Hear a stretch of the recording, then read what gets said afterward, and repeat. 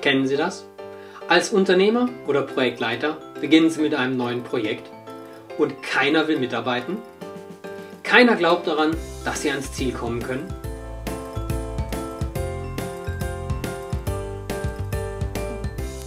Hallo und herzlich willkommen.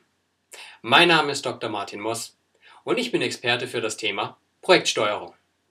Ich helfe Unternehmern und Projektleitern dabei, ihre Projekte immer erfolgreich und effektiv umzusetzen.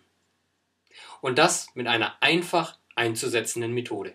Und genau die, die werde ich mit Ihnen teilen.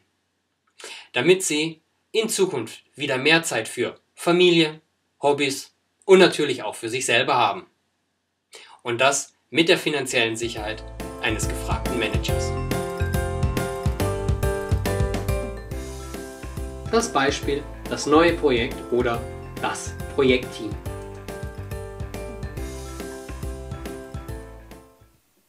Die Ausgangssituation.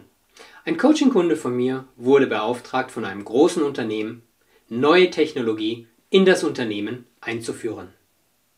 Der Vorstand hat dazu Bereich A auserkoren, dieses Projekt zu, ja, durchzuführen. In Bereich A wurde da ein Senior Manager als Projektsponsor benannt und dieser hat unseren Projektleiter angeheuert. Sehr schnell hat der externe Projektleiter gesehen, dass es hier bereits Aktivitäten gibt. Das heißt, das Projekt wurde bereits vor zwei Jahren gestartet. Es gab Dokumente, die gezeigt haben, es wurde bereits vor zwei Jahren mit möglichen Lieferanten gesprochen. Es gab auch ganz konkret schon Angebote von verschiedenen Lieferanten. Man sieht also ganz klar, hier gab es schon einiges an Aktivitäten. Auf der anderen Seite gab es aber keine Projektdokumente. Das heißt, es gab keine Projektpläne, Zieldefinitionen, Meeting Minutes. Es gab auch kein fest definiertes Projektteam.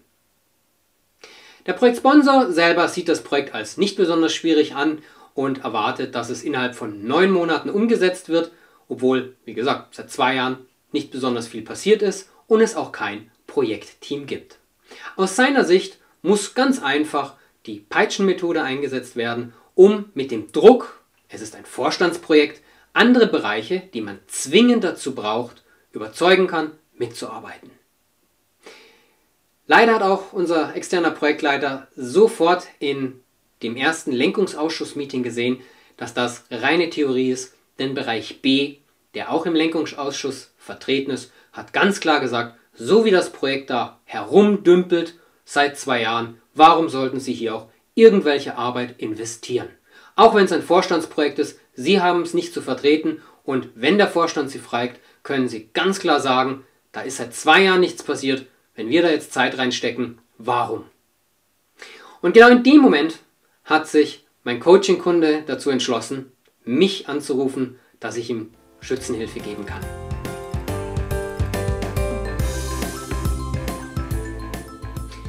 Mit meiner Projektsteuerungsmethode Bridging for Motivation gehe ich immer drei Schritte durch.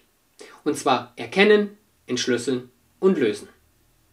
Das heißt, erkennen von Symptomen. Um zu wissen, was genau alles passiert, ist der Projektleiter, der externe Projektleiter, in den Bereich B gegangen und hat mit den Projektteammitgliedern, den zukünftigen, einfach gesprochen. Und die haben ganz klar gesagt, lieber Projektleiter, ja, wir sind benannt, wir würden auch gerne mitmachen, aber wir haben viel zu viel am Schreibtisch, wir haben viel zu viel zu tun. Das heißt, wir machen mit, aber wie gesagt, zeitlich nur sehr, sehr eingeschränkt. Manche zwischen den Zeilen, manche auch ziemlich klar haben gesagt, das Projekt dümpelt seit zwei Jahren rum, da kann nichts bei rauskommen, warum sollten wir Zeit investieren? Die Symptome haben ganz klar gezeigt, dass die Leute nicht glauben, dass es hier zu einem Erfolg kommen kann. Die Konstellation, die wollte keiner auf sich nehmen, hier auch eine, irgendwie Zeit zu investieren. Und genau das war der Punkt. Sie sehen schon an meinem Bild, was ich eingeblendet habe. Ein Projekt kann ja nur erfolgreich werden, wenn ich ein sogenanntes Winning Team habe. Denn wer macht denn die Arbeit? Das Team macht die Arbeit. Nur wenn das Team gemeinsam an einem Strang zieht, zum gleichen Projektziel hinarbeitet und das noch proaktiv und freiwillig, nur dann habe ich eine Chance, dass ich das umsetzen kann. So ein Projekt ist viel zu groß, als dass man je glauben könnte, der Projektleiter alleine könnte das machen, ganz zu schweige denn mit irgendwelchen Drucksachen wie Peitschenmethode. Unmöglich. Aber die Symptome haben ganz klar gezeigt, wo, wo der Kern liegt, dass die Leute eben einfach nicht an das Projekt glauben. Und genau hier kommen wir zu Schritt 2, Entschlüsseln, der Ursachenanalyse. Hier gehe ich in meiner Projektsteuerungsmethode ganz klar ein Raster durch, eine Checkliste durch, um zu analysieren, wo liegt die Ursache von diesen Symptomen, die ich jetzt in der Zusammenfassung kurz erzählt habe. Und die Ursache war hier ganz klar, dass ein Fundament gefehlt hat.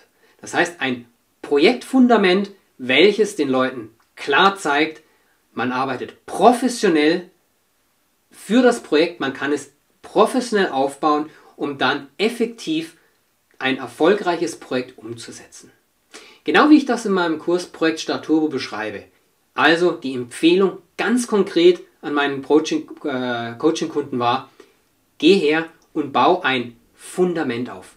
Ein professionelles Projektfundament, wo jeder sieht, du machst das auf einem hohen Niveau, du weißt, was du tust und daraus kannst du die Leute für dein Projekt gewinnen und genau da bekommst du dann dein Winning Project Team her.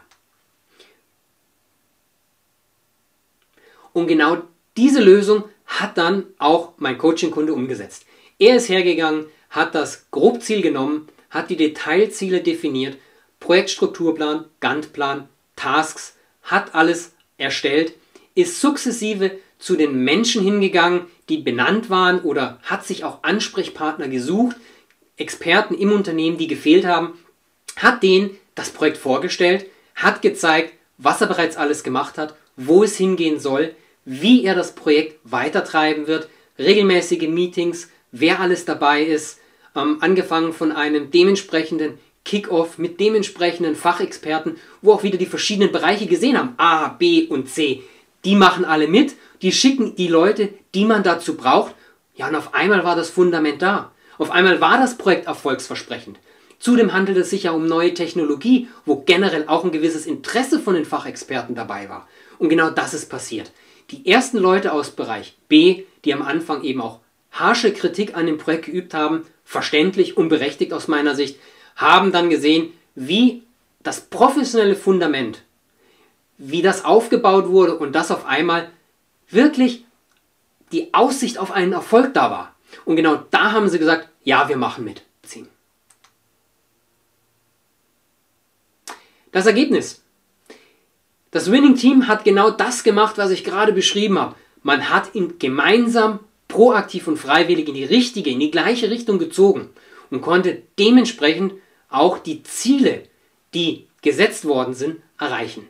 Die Ziele wurden, ich habe es jetzt nicht im Detail besprochen, natürlich mit dem Team dann auch gemeinsam gefunden. Das Grobziel war klar, aber die ganze Definierung, messbare Detailziele zu finden, Primärziele, sekundäre Ziele zu setzen, das wurde natürlich dann gemeinsam auch in dem Team mit den Fachexperten, mit den Key Stakeholdern gemeinsam gemacht und diese Ziele wurden dann auch ganz klar erreicht. Schauen Sie einfach regelmäßig auf meinem Blog www.drmartinmoss.com vorbei. Sie können mir auch gerne Rückmeldungen schreiben, ich bin ja auch neugierig. Haben Sie schon mal so eine ähnliche Situation gehabt? Was haben Sie gemacht? Schreiben Sie mir. Ich freue mich. Ihr Dr. Martin Moss.